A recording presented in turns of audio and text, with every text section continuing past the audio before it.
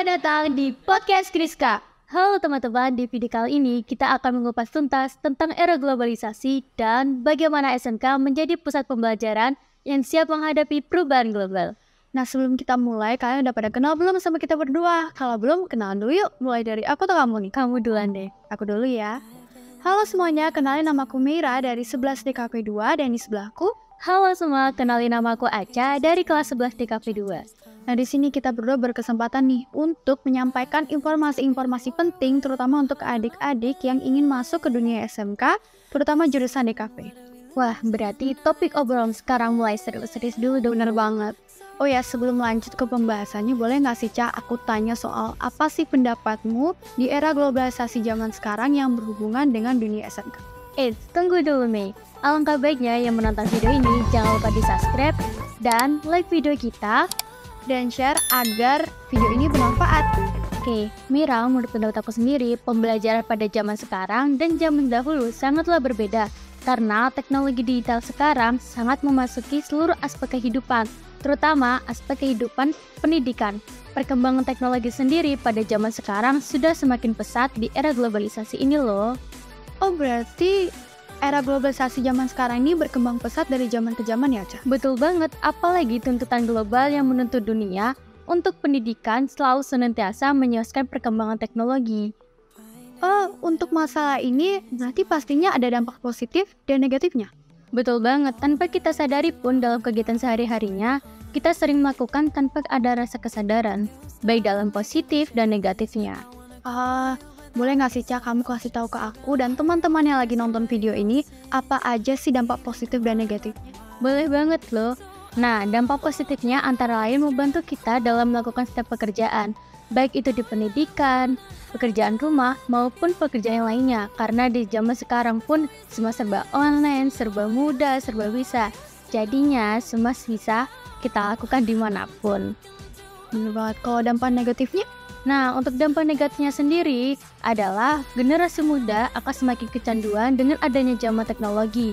Oleh karena itu, di tengah majunya sekarang, kita sebagai penerus bangsa dan pemuda-pemudi ini harus bijak-bijak dan harus menyikapinya dengan cepat. Wah bener banget sih, jujur aku dulu pernah ada di posisi di dampak negatif itu karena dulu kan masa-masa covid ya apa-apa tuh serba online jadi larinya ke gadget terutama smartphone. Jadi apa-apa pasti bawa smartphone ke mana-mana bawa smartphone dan akhirnya jadi kecanduan.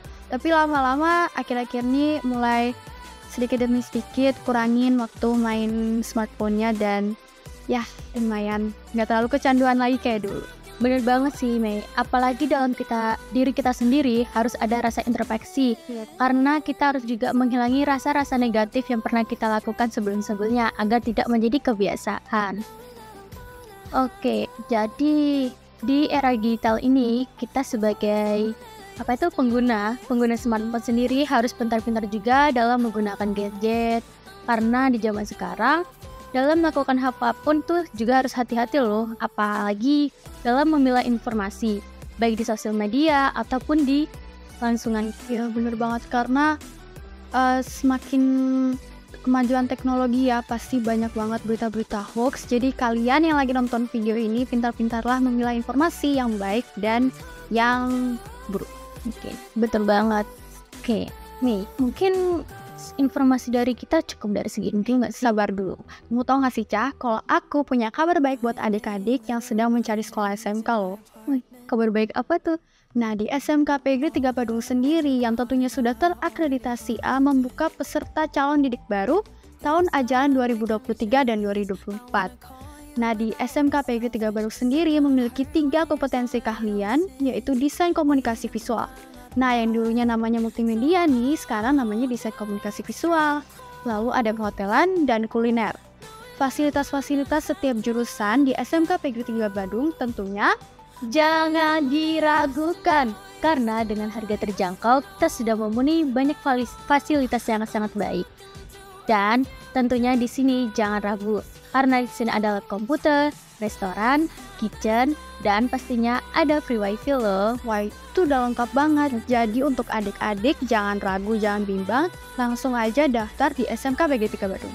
Bener banget, kita akan selalu menunggu kehadiran kalian di sekolah kita. Nah, mungkin video dari kita cukup segini dulu dan informasi-informasi tadi semoga membantu kalian dan para penonton yang melihat video kita.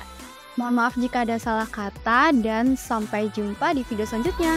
Bye-bye!